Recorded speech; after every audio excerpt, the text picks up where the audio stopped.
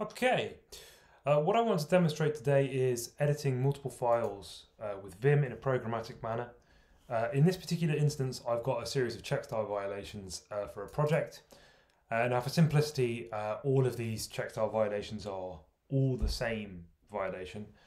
Um, if there were different violations and they were mixed in together, you could repeat the same process for each one of the violations, and you could even do that programmatically. Um, so how do we do this? So I want to fix all these, and I don't want to bother, you know, making it difficult for myself. So what we can do is we first need to get these file names so that we can actually just open them. Vim allows you to open multiple files in one go. So I can give it two arguments or three arguments or four arguments, and it will open uh, those files. So if I close that one, close that one, and then we're out of buffers, and we can get rid of the whole thing.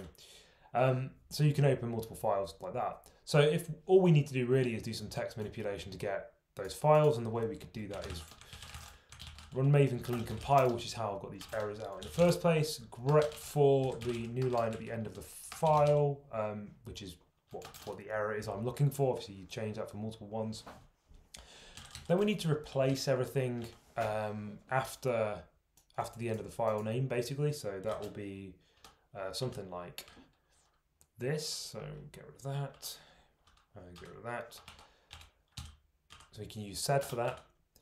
Uh, is that right? Oh, we need a second one of those. Once we've done that, we can then um, do cut with a delimiter of a space because we've got that error at the start of the line with a space and then um, we should have nothing after that. So we can just take the second argument from here. So that'll be F2.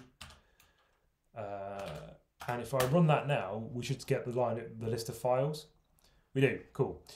Uh, and if I now uh, basically put all that in a subshell, uh, or I could have just uh, done it in done xargs into Vim, um, we can open everything in one go in Vim, like that. Okay, so now I've got the files open.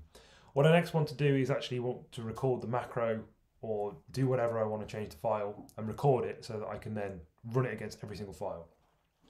This particular instance is pretty easy. Press Q twice to start recording the macro and the buffer Q.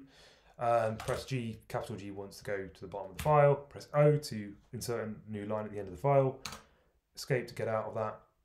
Uh, Q to stop recording the buffer, uh, the macro, sorry. I'm going to undo that just so that we can run everything nicely against all the files as opposed to running it against this file twice.